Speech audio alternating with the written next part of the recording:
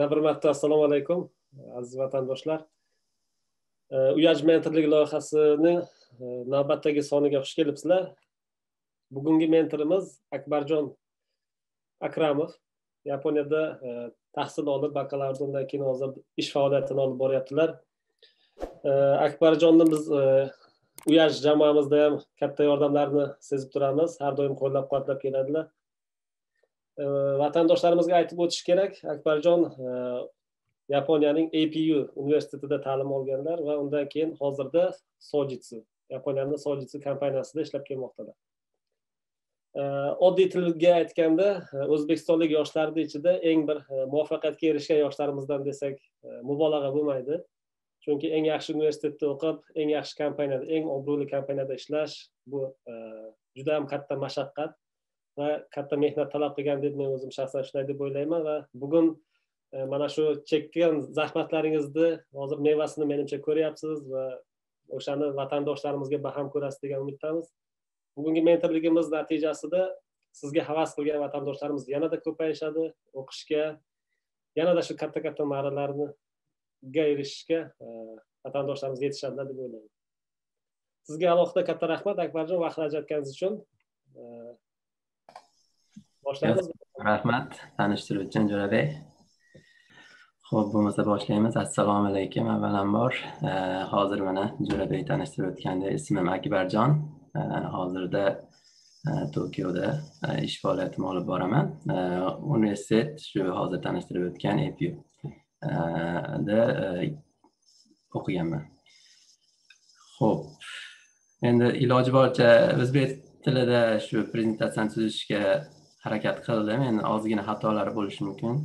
Chunki o'zbekcha ishlatmaganimizga mana e, o'yin bo'lib qoladi. E, iloji boricha qo'ldan kelgancha tushunarliroq osonroq qilib o'zbek tilida yozib chiqdim.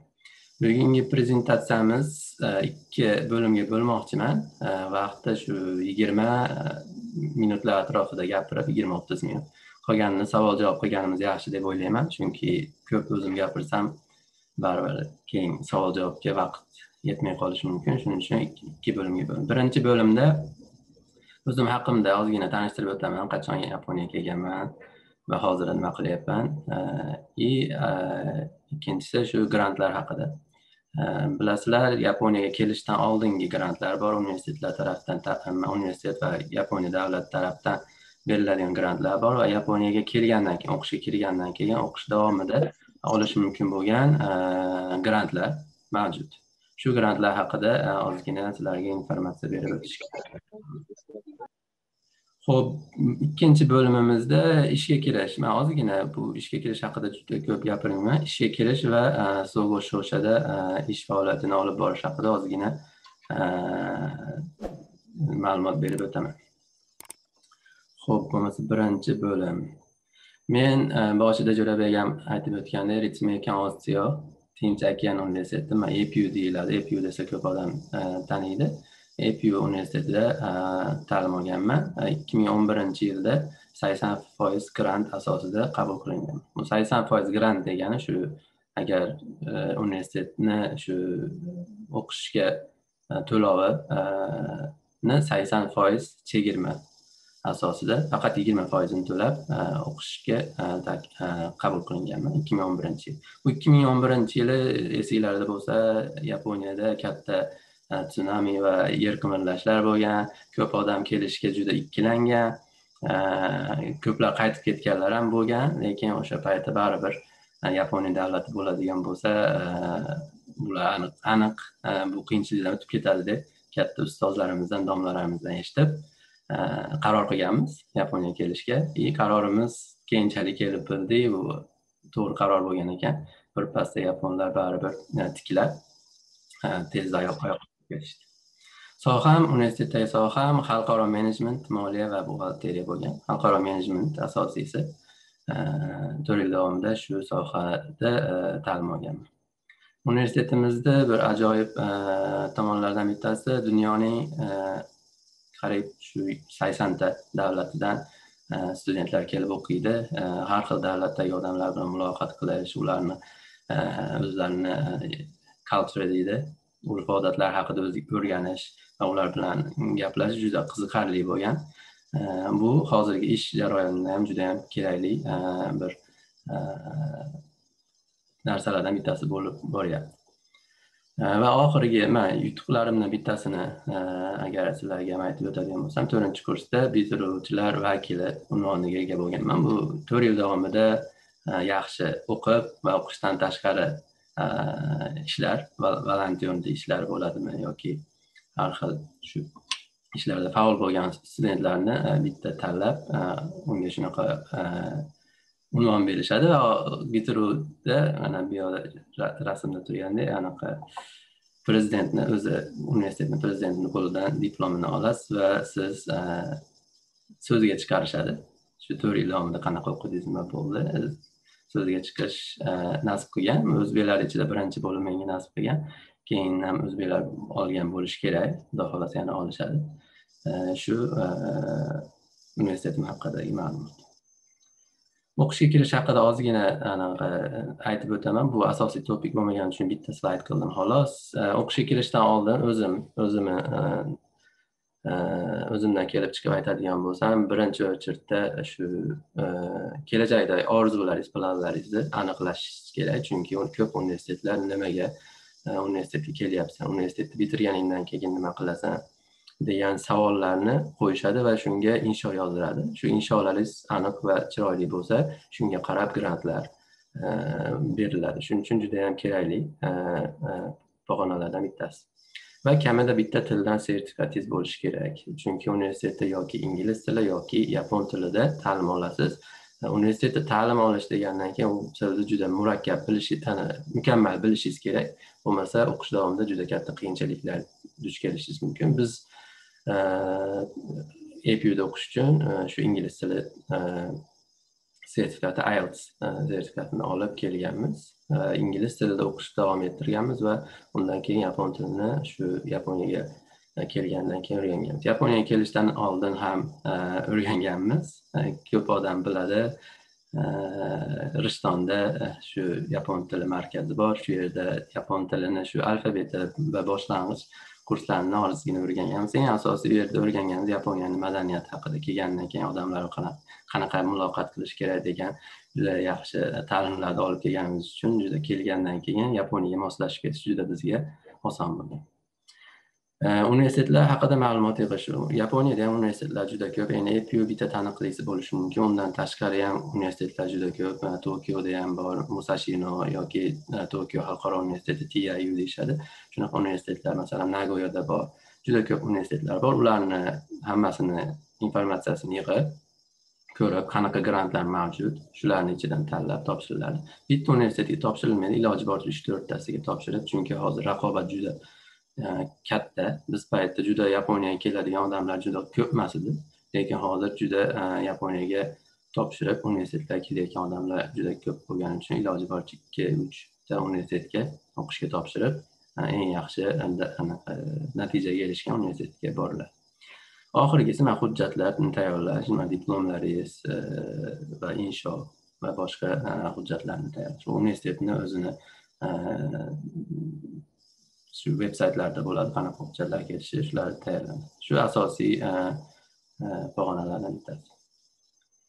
Ho'p o'qishga kirgandan keyin nima qilinadi? O'qishga kirgandan keyin juda e, anaqa kichkina qilib aytganda oddiy qilib aytganda balansni to'g'ri ushlash deb yozdim. Bu nima degani desangiz o'qish davomida faqat o'qish uchun kelmaysizda yaponiyaga. Chunki o'qish o'qishdan tashqari ishlar degani bu har xil volontyor ishlar. Masalan yaponlarni maktablariga borib o'zbekiston haqida o'zbekistonni shu madaniyat haqida o'rgatasiz va bular orqali o'zingiz ham siz yaponlar haqida yaponlarni madaniyati haqida o'rganasiz o'qish o'qishdan tashqari va arubayto dedim buni endi o'zbekchasi shu vaqtinchalik ish bo'lsa kerak soat soat bay ish deydimi ko'pincha yapon arubayto deyiladi shu uchta narsani balansini olish juda muhim deb o'ylayman ba'ziga bolalar bo'ladi. Endi hammani oilani sharoiti har xil kelgandan keyin reski shu arbayto ishga o'zini beradida и o'qishga kamroq vaqt ajratadi yoki o'qishdan tashqari faoliyatlarga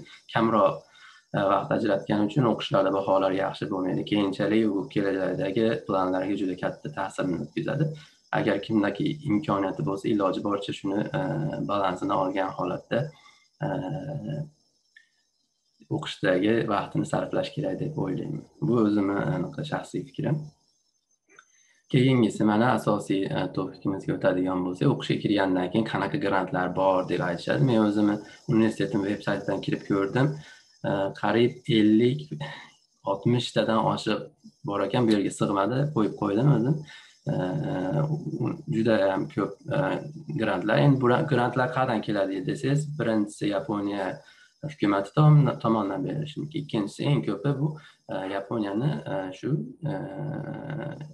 kompaniyalar yaponiyada faoliyat yuritayotgan bizneslar orqali keladi endi yaponiya hukumati nimaga shunaqa grantlar taklif qiladi yoki yaponiya shu kompaniyalar nimaga shunaqa grantlar taklif taklif qiladi degan narsani tushunish juda muhim deb o'ylayman chunki bu topshirayotgan jarayoningizda yani eng katta so'raladigan bitta e, so'rovlardan bittasi e, yaponiya hukumati shu bilasizlar yaponiyada ishchi kuchiga talab juda katta chunki buni e, yaponlarni e, aholisi qarib bormoqda. Shuning uchun iloji boricha e, yaxshi malakali mutaxassislarni ular o'zlarida ushlab qolish niyatida har xil grantlar taklif qiladi. Yaponiya kompaniyalari ham shunga o'xshash o'zlariga kelajakda yaxshi kadrlarni e, ozgina. Bo'lsa ham yaxshi kadrlarni qo'lga kiritish uchun shunaqa e, grantlar taklif qilishadi. Endi hammasi ham o'zimizga masalan biz grant berdik bizga ishga keling deb aytmaydi hech qachon. Chunki bularni faqat studentlar qo'llab quvvatlash emas bularni biznesni e, bilsanglar e, biznesda faqat biznes foyda uchun qiladigan biznes bor. И shu biznesdan tashqari shu society nima bo'ladi society. Jamiyat. jamiyatga qanaqadir foydasi tegyapti degan narsa shu kompaniyalar uchun juda muhim rolga ega. Bu yaqinda juda ko'payyapti shuning uchun mana biz jamiyatga foyda keltirish uchun shunaqa grantlar taklif qilyapmiz degan ma'noda ko'p grantlar taklif qilinadi. Shu grantlarni ma'nosini nimaga bunaqa grantlar beriladi tushunib yetsangiz e, grantlar olishingiz ancha oson bo'ladi. U haqida keyingi slaydimizda e, aytib o'taman. E, shaxsan o'zim olgan grantlarim juda men endi e, nima deydi lakki deydimi? Omadli bo'lganman shu grantlarni qo'lga kiritganman mana birdan oltigacha.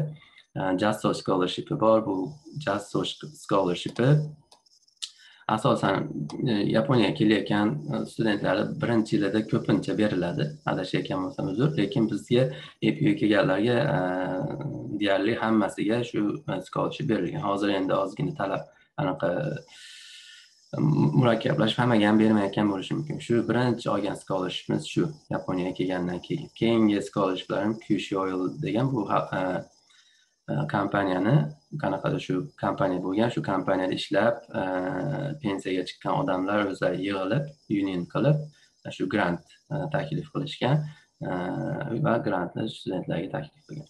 Yana keyingisi bu rotary yonayama scholarship bu yaponiya va dunyo bo'yicha ham taniqli grant bunga ham bu grantni ham olishga nasib qilgan.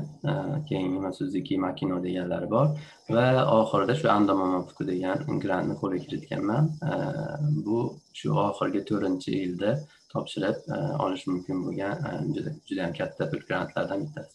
Man yoniga yozib qo'ydim o'rtacha necha puldan beradi qanchadan beradi ko'rsanglar momofuku haqida batafsilroq aytib o'tasiz anda momofuku bu nissin kompaniyasi bor shu anaqa noodles nima bo'ladi o'zbekchada roltonmi lag'mon ha lag'mon shu quruq lag'mon ishlab chiqaradigan kompaniya bu odam o'zi tayvanlik bo'lgan bizga o'xshab anaqa chet elga va yaponiyaga ya'ni o'qishga kelgan va shu yerda o'z kompaniyasini boshlab muvaffaqiyatga erishgan kompaniyalardan bittasi shuni shu kompaniyani asoschisi bo'lgan andamon fuku degan odam grant tashkil qilgan va epuga aynan bizni universitetimizga bergan.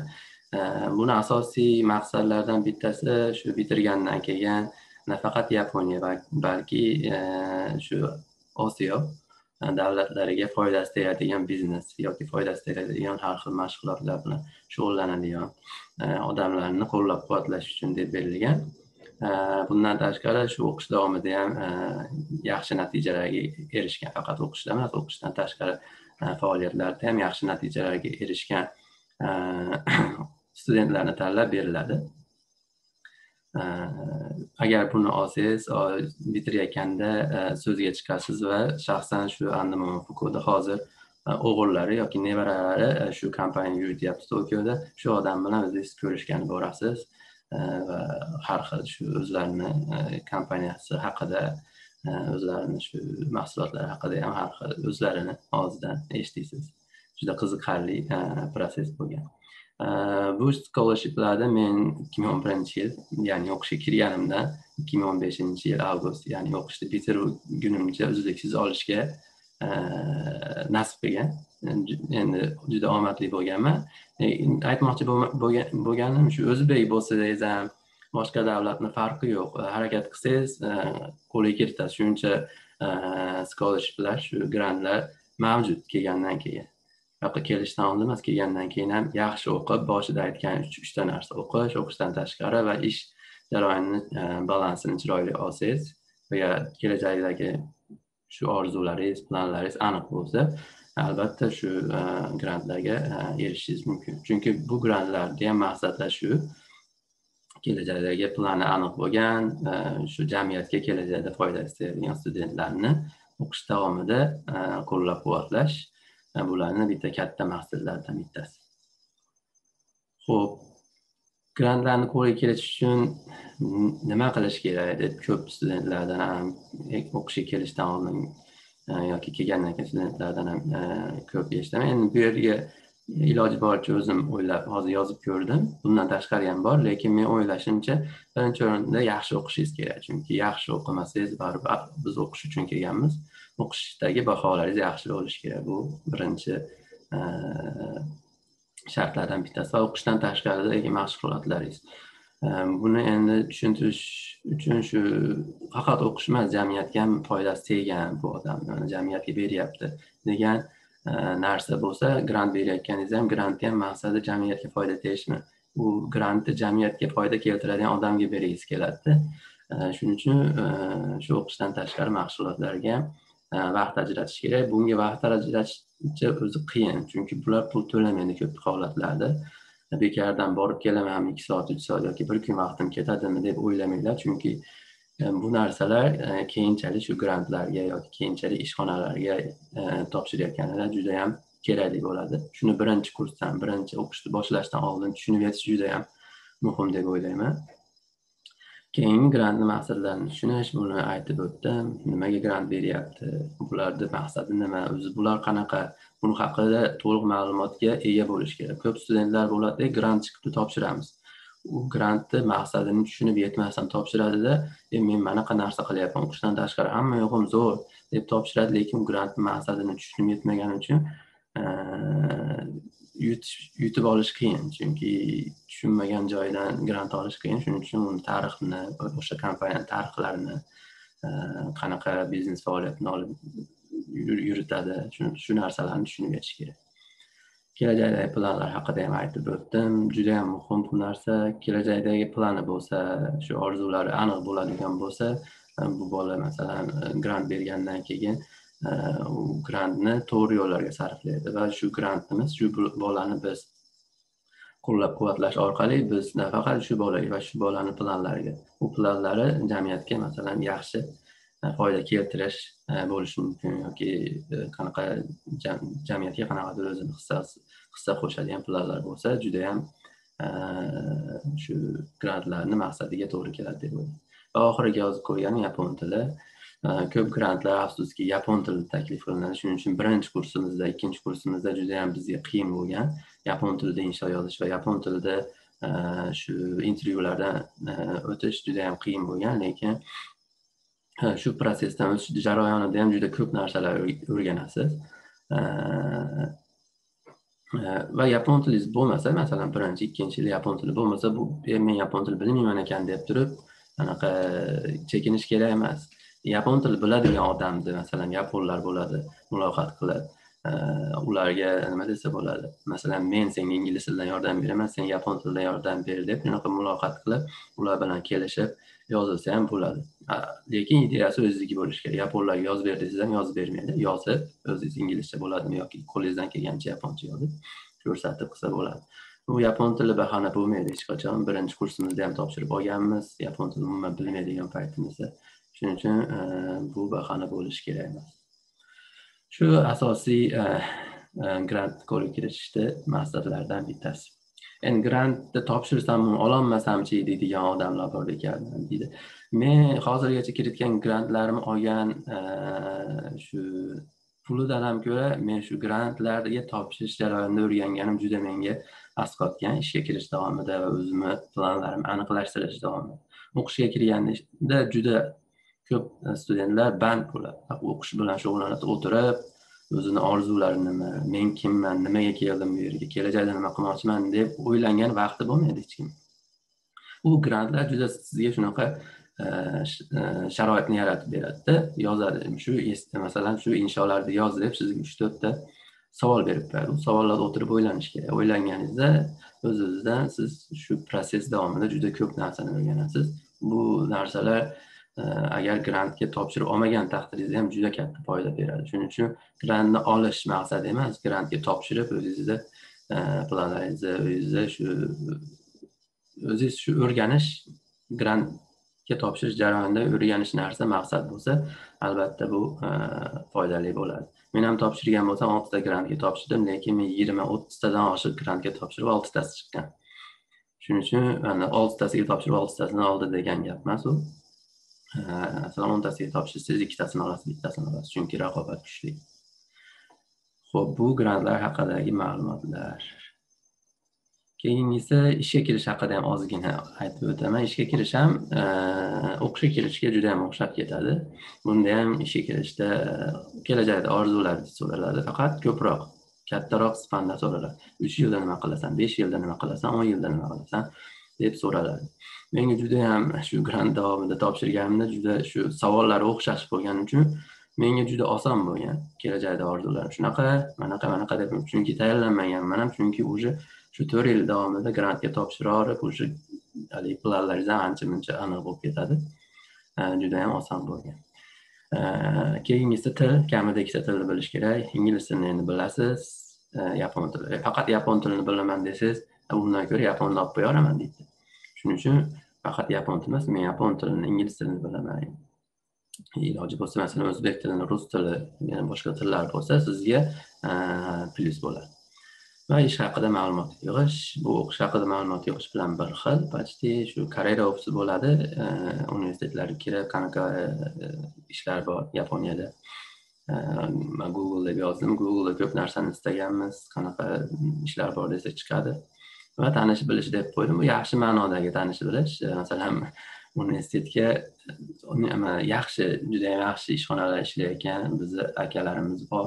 Shular bilan kirib gaplashsangiz haligi yaponni og'zidan chiqmagan narsani sizga o'zbekcha lo'ndagina tushuntirib beradi. Bu ish manaqa? Mana shuncha masalan mm, ishdan maosh olasan mm, mana shunaqa mana shunaqa sharoitlari bor deb beradi.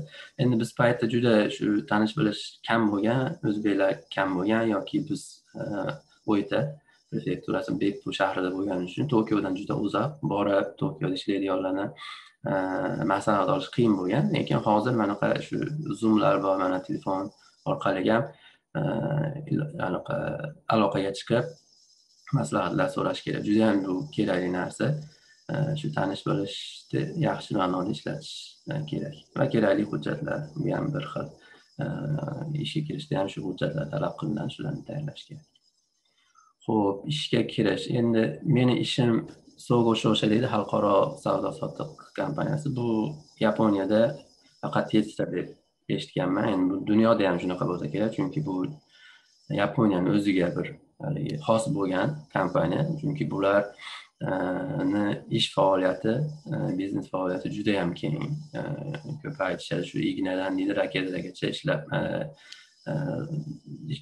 ignada raketani savdo sotiq qo'yish e, biznes boshqaruviga bular aloqada bo'lgani uchun judayam e, faoliyati keng.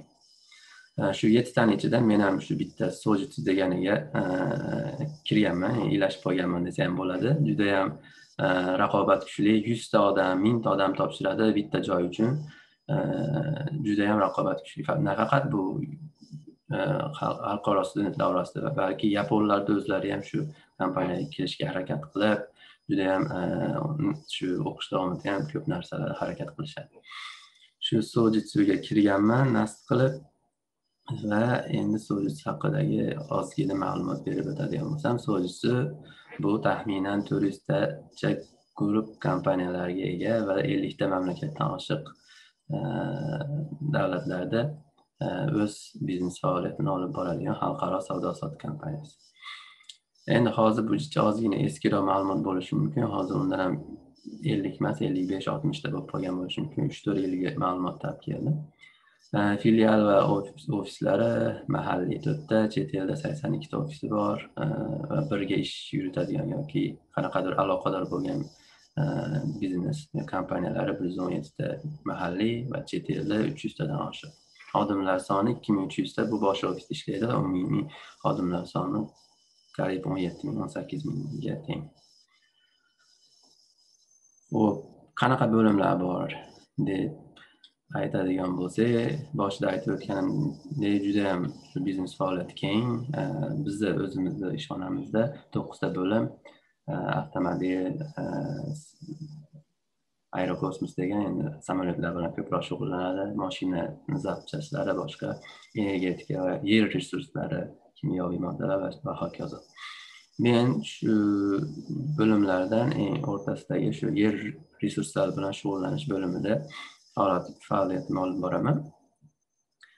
Buni endi o'zim tanlamaganman chunki judayam faoliyat keng bo'lgani uchun sizdan so'raydi kirganingizda qaysi bo'limda ishlamoqchisan qanaqa ish qilmoqchisan men aytganim men boshqaruv bilan shug'ullanmoqchiman bo'limni qizig'i yo'q. Biznes boshqaruvi chunki o'qishda o'qiganimiz biznes boshqaruv bo'lgani uchun biznes boshqaruv bilan shug'ullanishni xohlagan va menga shu bo'limni to'g'ri deb topishgan to'g'ri deb topishgan shu. Ho'p xalqaro savdo kompaniyasining funksiyasi. Nima qiladi desangiz endi juda chalkash bo'lgani uchun ikki ikkita funksiyasi bor asosiy birinchisi biznes boshqaruv nima nima degani biznes boshqaruv biznes boshqaruvi bu har xil davlatlarda kichkina kichkina kompaniyalar bor bizneslar bor. Shu bizneslarni boshqarishadi. Boshqaruv deganda endi hammasi ko'zda tutiladi buxgalteriyasi bo'ladimi ichidagi marketingi bo'ladimi accountingi hammasi e, ichiga kiradi. Shu kichkina kompaniyani siz e, boshqaruvni qo'lingizga olasiz. Ikkinchisi xalqaro savdo sotiq bu savdo sotiq import eksportdan iborat. Masalan xitoydan e, biror narsani olib kelib yaponiyaga yaponiyani masalan mashinalarini olib chiqib shu boshqa davlatlarga sotish oldi sotdi asosiy e, e, faoliyatidan bittasi. E, men o'zim shu yer resurslari bilan shug'ullanganim uchun avstraliya indoneziya davlatlaridagi yer resurslarini bilan shug'ullangan kompaniyalarni boshqaruviga o'zimni hissamni qo'shganman. Hozirda shu to'rt yil davomida o'zimni hissamni qo'shib keldim. Beshinchi yilda manaki meni bo'limimni o'zgartirib hozir savdo sotiq bo'limiga o'tkazishdi. Hozir rossiyani sahalin bilan savdo sotiq aloqalaridamiz aloqalarni boshqarish bo'limidaman rossiyadan e, narsani olib e, ko'pincha sotadiganimiz koreyaga sotiladi xitoyga sotiladi hindistonga sotiladi. Judayam e, xalqaro biznes bo'lgani uchun ingliz tili ko'proq ishlatiladi. Shu taraflama juda o'zimni ishimni shu tarafi yoqadi. Ingliz tilida va o'zimni universitetda o'qigan xalqaro boshqaruv. Shu ikkosini ham ishlab toplayman keyingisi shu o'shada ishlashning yaxshi taraflari deb yozib qo'ydim. Endi xalqaro biznes e, ellik oltmishtadan oshiq davlatda biznes faoliyatini yuritadi. E, chet tilini ishlata olasiz ingliz tili bo'lsa ingliz tili rus tili bo'lsa rus tilini ishlatasiz. O'zingiz tilingizni ham ishlatishingiz mumkin. Agar o'zizni davlatingizda ham ish faoliyatini yurgizsa. Va chet davlatlarda ishlash imkoniyati chet davlatlar ko'p e, safarga biznes safarlarga boriladi. Shaxsan o'zim ham avstraliya indoneziya malayziya singapur davlatlarida ko'p borib kelganman. Hozirda e, endi hozir pandemiyadan keyin e, rossiya koreya davlatlariga ham borish imkoniyatlari bo'ladi deb o'ylayman. Bu borib borib kelish bilan ya yana bittasi chuzayn degan narsasi bor. Bu e, shu davlatga sizni jo'natadi besh yil davomida borib shu davlatda bizni biznesimizni boshqar deb jo'natadi. Bu ham juda muhim taraflardan bittasi. Masalan eng zo'ri masalan o'zbekistonda birorta proyekt bo'ladigan bo'lsa siz jo'natib besh yil davomida shu proyektni boshqaruvni qo'lingizga beradi o'z davlatingizda ishlab yoki boshqa davlatlarda e, shu faqat yaponiyada ishlamaysizda boshqa davlatlarda ham uzoq muddatga ishlash e, imkoniyatingiz bo'ladi. Yaxshi maosh va ijtimoiy yordamlar deb yozib qo'ydim. Maoshini yaxshi to'laydi ko'p anaqa yaponiyadagi kompaniyalarga ko'raganda yaxshi to'laydi degan e, shu nomi bor. Va ijtimoiy yordamlar masalan uy joy bo'ladimi oilangizga agar oilali bo'lsangiz oilangizga shu e, har xil yordamlari bor. E, Oxirgisini yozganim katta biznes boshqaruvini o'rganish bu korporatsiyalarda ishlaganingiz uchun juda yam katta bo'ladi minglab odamlar bo'ladi. Shu minglab odamlar ichida qanday shunaqa katta bizneslar yuritiladi? Shu haqida o'rganishingiz mumkin. Kelajakda o'zingiz masalan chiqib ketib e, o'zim biznes boshlayman desangiz ham shu o'rgangan narsalaringiz judayam o'ziga as qiladi. Bu shoshada ishlash edi. E'tiboringiz uchun rahmat. Shu yerda meni prezentatsiyam tugadi. Savol javobga o'tsak bo'ladi menimcha. Katta rahmat akbarjon. Judayam e, qiziqarli prezentatsiya bo'ldi. Hurmatli vatandoshlar eshitib turganlarga murojaat qilmoqchiman. Savollaringiz bo'lsa agar qo'lni ko'tarish tugmachasini e'lon qilishingiz mumkin yoki kommentariyada izohda yozib qolishingiz mumkin. Boshlashdan oldin boshqalardan savol berish olishdan oldin akbarjon menda sizga savol bor edi. Albatta. Ikkita savol bor edi. Siz aytib o'tdingiz o'zbekistondan ritsumekanga kelgan vaqtingiz sakson foiz chegirma bilan keldim dedingiz. Ya'ni bu deganiki o'sha yigirma foiz menimcha faqat universitetni pulini to'lagansiz degani. Mana shu natijaga qanday qilib erishdingiz? Oxirgi vaqtda juda yam ko'p savol bo'ladi shu masala bo'yicha. Qanday qilib stipendiyani o'zbekistondan turib olish mumkin degan savollar berishadi. Shu haqida aytib o'tsangiz. Hop endi ko'p holatlarda chet elga o'qishga kelish judayam anaqa katta Э, mablag' talab qilgani uchun aytgan aytib o'tganingizdek kelishdan oldingi grantlar juda yam muhim э, asosan mana biz o'zimiz uchun ham juda yam muhim bo'lgan. Э, kelishdan oldin topshiriladigan grantlarga birinchi o'chirda shu o'zingizni e, kelajakdagi planlaringizda nimaga o'qishim kerak? O'qishdan keyingi planlaringiz juda yam muhim. Va til. Til tarafda ham birinchi o'chirda tilingiz ham bo'lmasa o'qishga kelgandan keyin aniq qiynalishingiz aniq shuning uchun har taraflama aytib o'tganimdek faqat o'qish emas litsey faqat litseyda bo'lsa litseyda o'qiganman. E, bahoyim besh. Men grant ololmayman desa yo'q u faqat beshga o'qigan bilan grant bo'lmaydi. Beshga o'qiganman. O'qishdan tashqari masalan e, to'garaklarga borganman futbol karate mana shunaqa mana shunaqa to'garaklarda mana shunaqa diplomlarim bor. E, deb shu o'z yutuqlaringiz.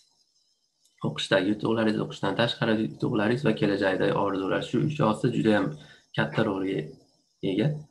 Shu uchosini agar aniq qilib tayyorlaydigan bo'lsangiz e, o'qishlarga kirish ancha oson bo'ladi. E, ko'p universitetlar hozirda grantlar taklif qilyapti lekin o'zbekistondagidan topshirish juda yam raqobat aytganimdek ikki ming o'n birinchi yilga e, nisbatan juda yam oshib ketdi. Masalan biz paytda ellikta odam topshirgandi balki yuzta odam hozir minglab vatandoshlarimiz universitetlarga topshiryapti. Bu degani masalan biz paytimizda e, oddiy qilib misol qilib aytadigan bo'lsak ielts e, bahosi olti bo'lsa mana shuncha grant olardi olti ball bo'lsa. Hozir olti ball hech narsa bo'lmay qoldida o'sha yetti ball sakkiz ball raqobat oshyapti. Shuning uchun e, atrofingizdagi raqobatga qarab atrofingizdagi odamlarga qarab ham o'zizni qanaqa kuchli tarafingiz bor? Shu kuchli tarafingizni aniqlab o'zizdagi kelajagidagi orzularingizni aniqlasangiz ko'p universitetlarga topshirish va yaxshi natijalarga erishish mumkin. Rahmat. Siz sir bo'lmasa qaysi ingliz tili daraja bilan erishgansiz bu natijaga? Men aytganimdek olti darajasi bilan erishgan. Lekin maslahat berardim. Shu olti emas yetti olib berib chunki kelgandan keyin bizga darslarda juda katta materiallar berishganda shu masalan shu kitobni yarmini o'qib kel ertaga desa u juda qiyinda olti daraja bilan qiynalishim masalan e, bu yerda e, amerikadan yoki yevropa davlatlaridan kelib o'qiydigan studentlar bor. Ular shuni yarim soatda o'qib qo'ygan narsani biz kerak bo'lsa to'rt soat besh soatlab bahs sarflab o'qishimizga to'g'ri keladi shuning uchun ingliz tili darajangiz past bo'lsa degani ko'proq vaqt sarflashingiz kerak. И ular bilan e, bir xilda baho olishingiz uchun. Shuning uchun ingliz tilini o'rganib kelish yaxshi darajada o'rganib kelish universitetga kelgandan keyin sizni vaqtingizni judayam muhim qimmatbaho vaqtingizni ancha siz uchun anaqa tejaveradi shuning uchun til judayam muhim deb o'ylayman. Rahmat. Meni savolimni keyinroqqa qoldiramiz. Qatnashuvchilardan savol bor. Rahmanov marhamat. Avvalambor assalomu alaykum hammaga akbarjon aka rahmat yaxshi prezentatsiya uchun ko'p ma'lumotlar oldik. Savol bermoqchi edim o'sha siz aytganaqa siz sohangizga yaqin qiziqishim juda yaxshi bo'lgani uchun savdo kompaniyada ishlash xohlayman lekin savolim o'sha sohanida o'qigan diplom shunaqa mutaxassislik bo'lishi kerakmi yoki bo'lmasdan turib ham karyerani pastdan bo'lsa ham boshlash imkoniyati bormi? Masalan men hozir aytmoqchi bo'lganim boshqa sohada o'qiganman o'zbekistonda. Hozir yaponiyadaman faqat e, yapon tilini o'rganyapman. Magistratura yoki bakalavr darajam yaponiyada olinmagan. Shuni so'ramoqchiman agarda mana shunaqa kompaniyada ishlash uchun yo'q kerak bo'ladigan bo'lsa magistraturani o'qib ham topshirmoqchimanda. Shuni sizdan so'ramoqchi edim tushunadi tushunadi bu ko'p odam yaponiyani o'qish tizimi bilsangiz amerika yoki yevropa davlatlaridan ozgina farq qiladi yaponlar e, sizga bitta e, sohani chuqur o'rgatmaydi. E, judayam sayoz masalan marketing e, buxgalteriyani ozgina ozginadan o'rgatib qo'yishi mumkin. Shuning uchun ishga kirayotgan jarayoningizda ham sizdan bitta mutaxassislik talab qilinmaydi. E, masalan siz endi juda katta anaqa farqi bo'lmasa men ham boshqaruv bo'yicha o'qiganman lekin e, har xil oziq ovqat yoki ishlab chiqarish kompaniyalarga ham topshirib e, ish olganman. U degani siz sohangiz bo'lish shart emas. Agar sohangiz bo'lsa ishga kirgandan keyin ozgina yordam bo'lishi mumkin. Lekin ko'p holatlarda yaponlar e, yapon kompaniyalari ishga olgandan keyin sizni ishni e, deyarli noldan o'rgatadi. Bu ish nima deb boshidan o'rgatgani uchun sizni o'sha o'sha kompaniyani yuritayotgan biznes haqidagi shu mutaxassisligingiz bo'lishi shart emas. Э, xohlagan э, eh, kompaniyasiga kompaniyangizga xohlagan bo'limiga topshirib ish eh, yuritishingiz mumkin asosiysi shu kelajakdagi orzularingiz kelajakda qiladigan planlaringiz aniq bo'lsa u qanaqa biznes bo'lishi qanaqa soha bo'lishi eh, aniq emas aniq kerak emas.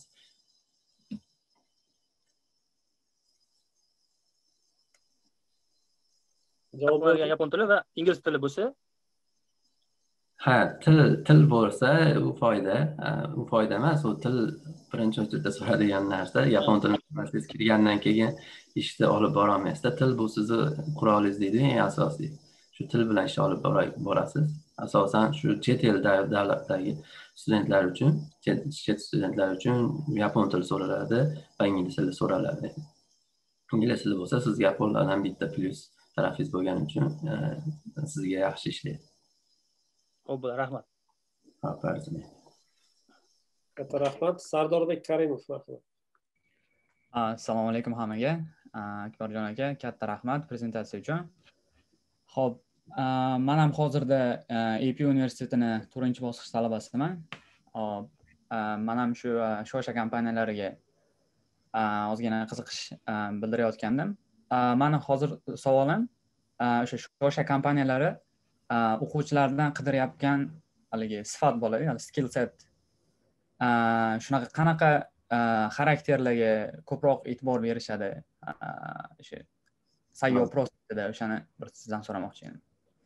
Endi shoshalar menimcha o'zini biznesiga ega bo'lmagani uchun bularni ko'proq oldi sotdisizda va odamni yoki bizneslarni o'rtasida turasiz bizneslarni o'rtasida turish degani nima degani ularni bog'lash degani u bog'lash uchun asosiy so'rab so'rab o'tiladigan narsa bu e, communication skill muloqot e, muloqot muloqotni bilish har xil odam bilan muloqot qilish.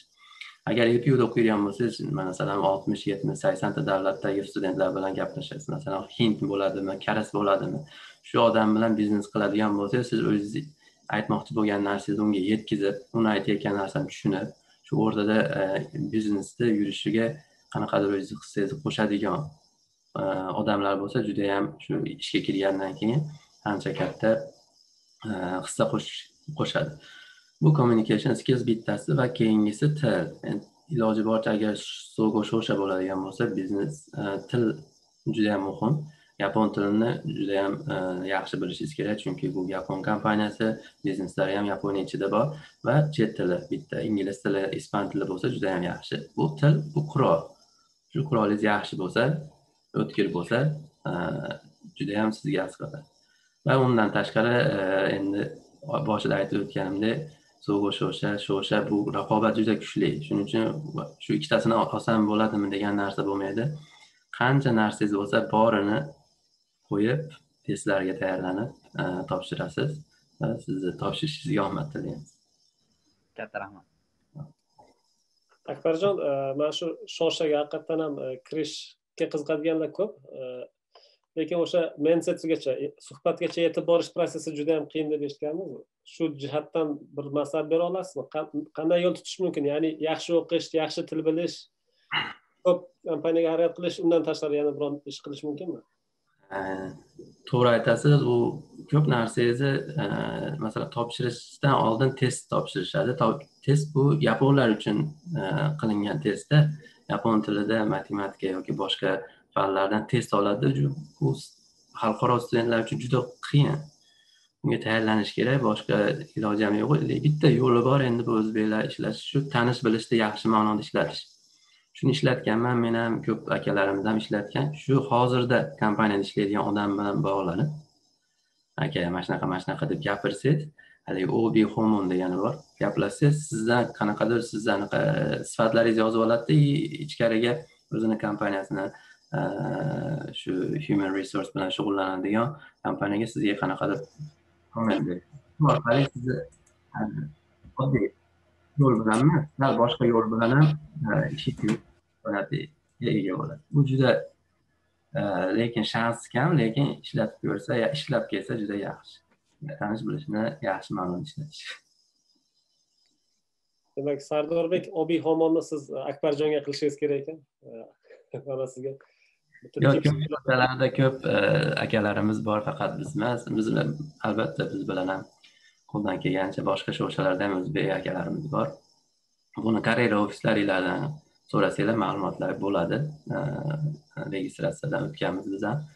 So'ralsa qanaqa o'zbek bor yoki qanaqa meni universitetimda odamlar ishlayapti desa sizga informatsiya berishadi va ular bilan aloqaga chiqing.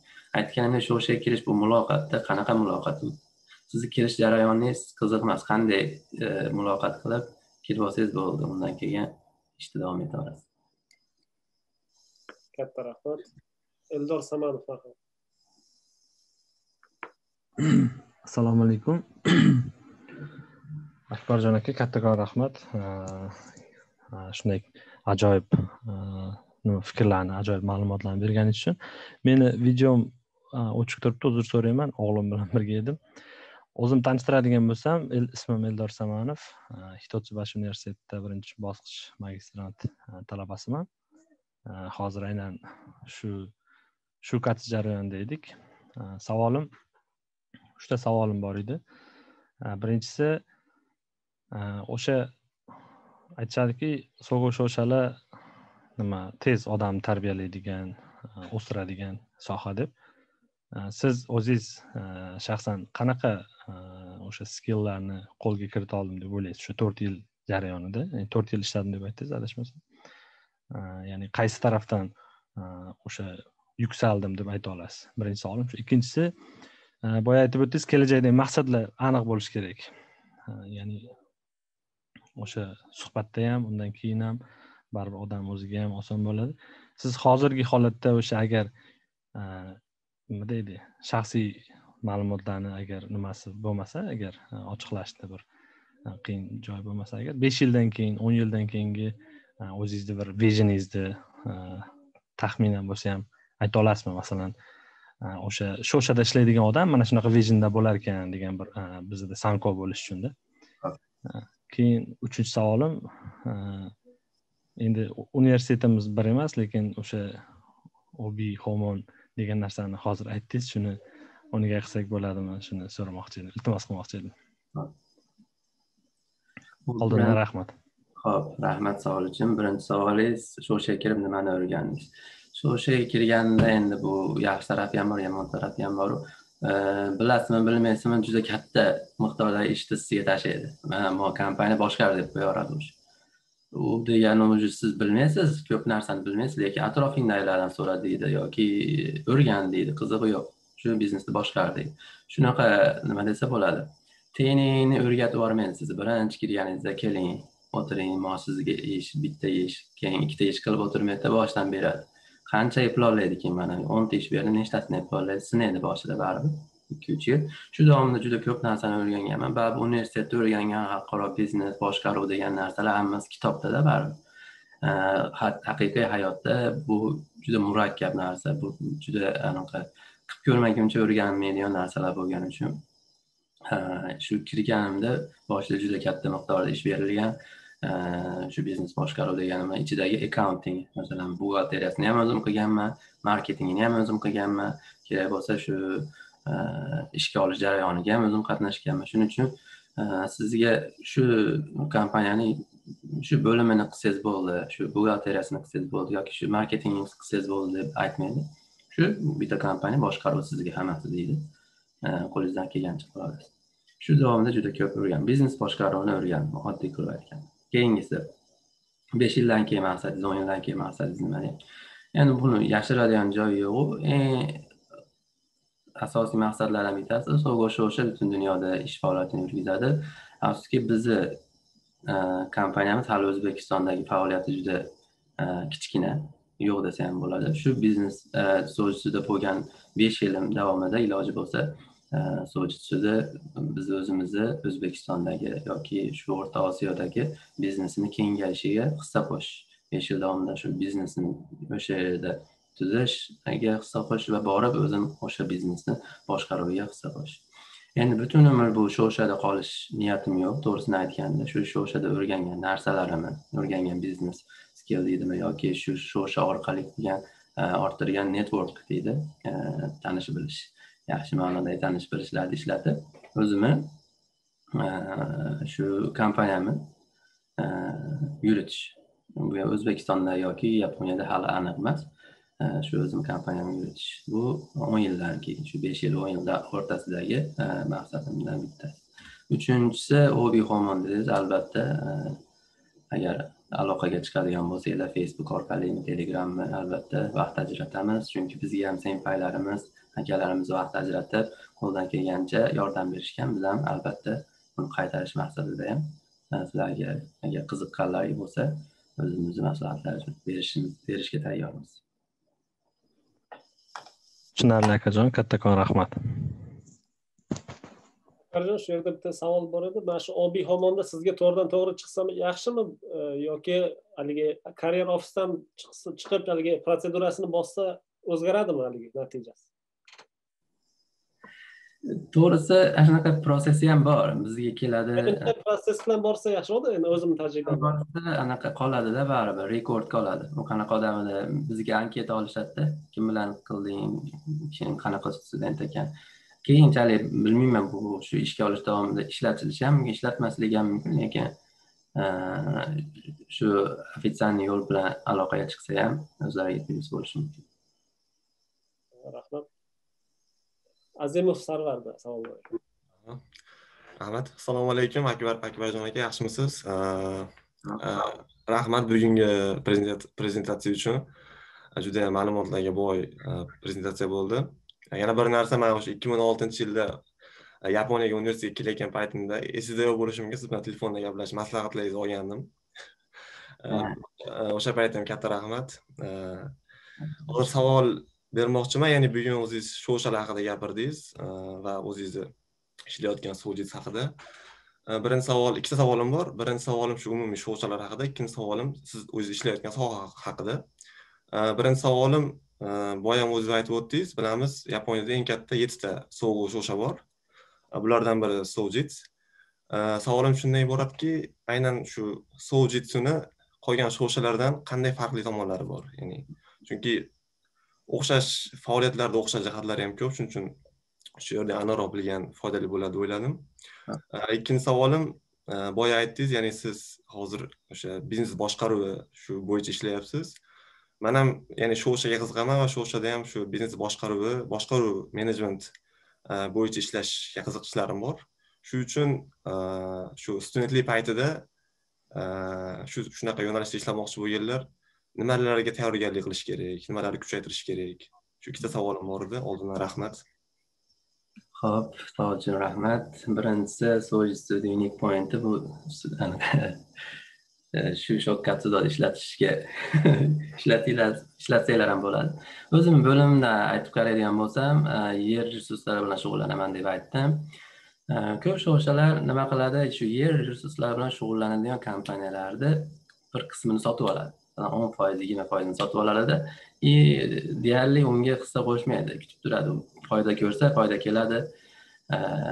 Biz o'zimiz e, sojisida aytadigan bo'lsa biz shu kompaniyani butunlay sotib olamizda va shu e, biznesini boshqaruvini o'zi ichiga kirib boshqaruvini olib boramiz.